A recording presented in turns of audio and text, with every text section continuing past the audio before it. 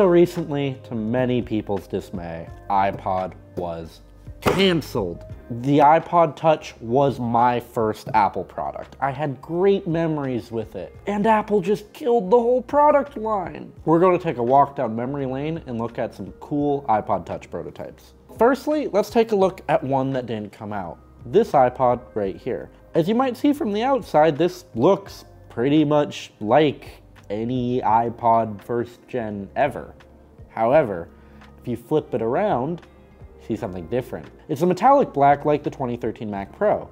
And that's a pretty huge difference. If we take a look at this iPod, while prototype, you can see, you know, the finished product, or at least this is a lot closer to it, is very different than this metallic black. So the thought process behind how this prototype came to be is it was likely from a materials prototyping team very early on in the development process of iPod.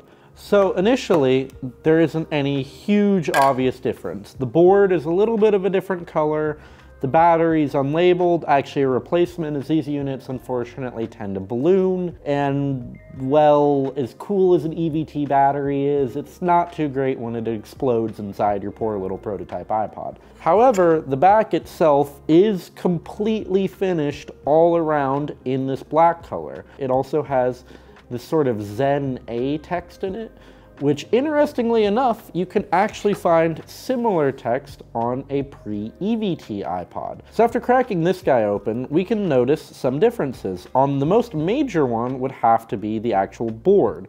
From the little bits you can see, it's completely red. On the back, we have the same sort of Zen text as we see here, which is something that they did for, I believe, aciding or maybe parts control on these early first gen iPods. So let me just for iterative purposes jump into an EVT2 iPod. So this is later than this red board pre-EVT one, but still early. Notably, and something quite fun, is they actually went ahead and put the EVT2 label on them where you would typically get the gigabytes. This is the same for everything up until some stages of DVT. Serial number, config number, and unit number. So as we can see with the back off, we have yet again another color of board. In this case, more of a blue. And overall, a whole bunch of minor but noticeable changes that make it pretty obvious this is a prototype. The back as well has some Sharpie on the inside. It is really common for early stage prototypes of devices like this to just have handwritten notes from engineers describing, you know, configuration, color, and other some such. It's actually really cool to find things like this because it almost humanizes the machine that is Apple. Everybody thinks of Apple as just this massive company that just puts out all these products, but in reality, there are humans behind every little process. Finally, let's take a jump to the DVT. This is the closest to production iPod I have. So if we open up the DVT one, we see again, a different colored board. This one's dark blue. Unfortunately, I don't actually have a production iPod on hand to show you, but I believe it's none of the colors in front of us. This one also notably, somewhat cool, has its original protective sticker from the factory on the screen, showing that for whatever reason it probably wasn't used. The back again, we have a unit sticker and the markings, and we have some really hard to read close-up text indicating likely lot information and device information on the back. Interestingly, it does actually say DVT on it.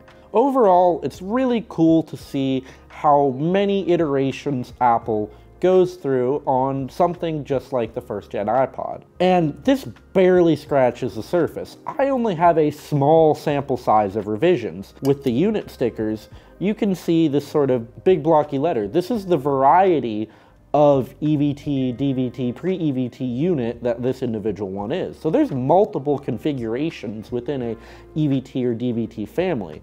I mean, shoot, if you really wanted to pause the video and compare these two stickers, you can see they're using different vendors, different manufacturers, different everything in these two models. And this is very common among any kind of prototype. It's not nearly as simple as just, you know, you pick A, A goes with A, B goes with B, C goes with C. You gotta try A with C, B with D.